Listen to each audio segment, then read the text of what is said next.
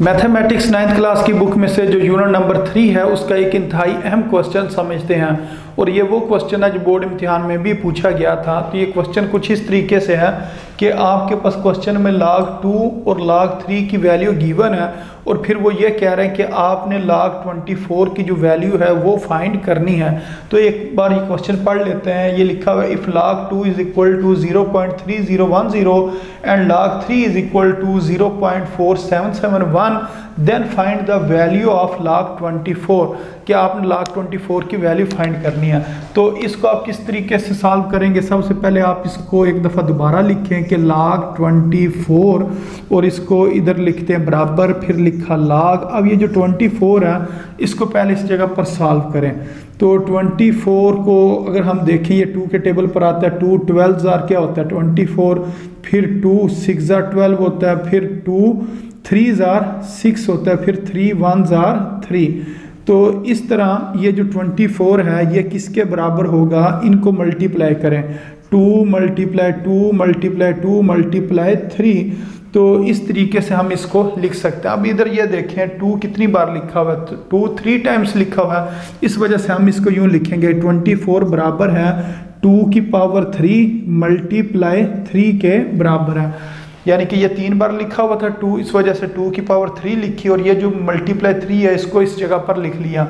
तो अब ये ट्वेंटी फोर की जगह पर हम लिखेंगे टू की पावर थ्री मल्टीप्लाई थ्री ये ट्वेंटी फोर की वैल्यू है। अब लाख का जो पहला कानून है, उसके मुताबिक ये है कि जो मल्टीप्लाई होता है, ये प्लस में चेंज हो जाता है और एक लाख को दो बार लिखते हैं। मसलन ये जो लाग है, ये पहली रकम के साथ आएगा, यानी कि लाग टू की पावर थ्री, फिर ये मल्टीप्लाई की जगह पर लिखेंगे प्लस और फिर लाख दूसरी जो टर्म है या रकम है उसके साथ भी आएगा। अब इस तरह हमने एक लाख को दो लाख के अंदर जो तब्दील किया और मल्टीप्लाई की जगह पर प्लस लिखा। है अब ये जो लाख का तीसरा कानून है, उसके मुताबिक ये है कि जो पावर होती है, वो शुरू में आ जाती है। तो ये जो पावर थ्री है, ये लाख के शुरू में आ जाएगी इस जगह पर। तो ये इस तरह बनेगा थ्री लाख टू फिर आगे प्लस लाख थ्री अब आपने लाख टू और लाख थ्री की वैल्यू पुट करनी है। थ्री की जगह पर थ्री लिखें लाख टू की जगह पर लाख टू की ये वैल्यू क्वेश्चन में जो गिवन है zero point three zero one zero इसको लिखें, फिर प्लस फिर लाख थ्री। तो ये पहले हमने लाख टू की वैल्यू पुट की, अब हमने लाख थ्री की वैल्यू पुट करनी है, जो कि बराबर है zero point four seven seven one के बराबर। अब आपकी मर्ज़ी है, इसके साथ आप ब्रैकेट लगाना चाहें तो लगा सकते हैं, नाम भी लगाना चाहें तो कोई मसला नहीं है, क्योंकि इसके से पहले कोई नंबर नहीं लिखा हुआ, जो कोई मल्टीप्लाई हो रहा तो बेशक आप इस जगह पर ब्रैकेट नाम भी लगाएँ, फिर भी ये ठीक है।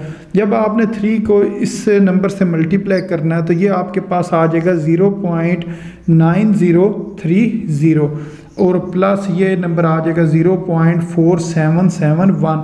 अब आप क्या करें, इन दोनों नंबर्स को ऐड कर लें। अगर हम इन दोनों नंबर्स को ऐड करें तो हमारे पास आंसर आएगा one point three eight zero one तो ये इसका आंसर इस तरीके से निकल आएगा और ये आंसर किसका लाख ट्वेंटी फोर का। तो लाख ट्वेंटी फोर किसके बराबर होता है? One point three eight zero one के बराबर होता है। तो ये आप कैलकुलेटर से आप इसको ऐड कर लें और ये आपके पास आंसर आ जाएगा। तो उम्मीद है आपको इस क्वेश्चन की समझ आ गई होगी कि इसको किस तरीके से सॉल्व करना था।